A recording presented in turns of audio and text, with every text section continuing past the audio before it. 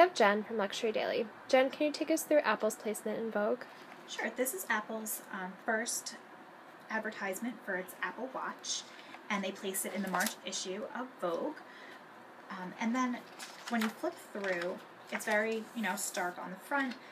And then each page gives a little overview of each of the models. So there's the steel version, the sport version, another steel version, and then this is the edition that um, is the real contender against luxury watch brands because it has 18 karat rose gold.